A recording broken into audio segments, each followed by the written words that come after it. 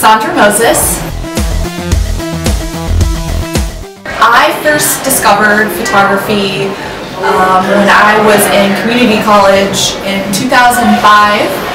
I took classes there. I actually wanted to be a crime scene photographer and quickly realized that that was probably not the most lucrative career choice. Um, however, I did do photography for several years using a film camera.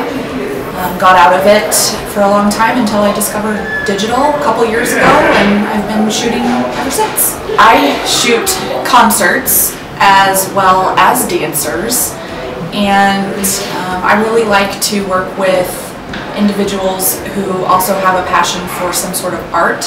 Um, while I like shooting buildings and other landscapes, I really appreciate the individual aspects other artists bring to their artwork and uh, try to bring um, I try to bring the passion through working on my art through them.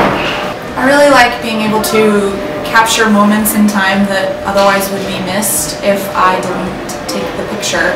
I really want to work more closely with up-and-coming independent hip-hop artists. Um, that's sort of my focus and then also working more closely with many of the dancers that I take pictures of.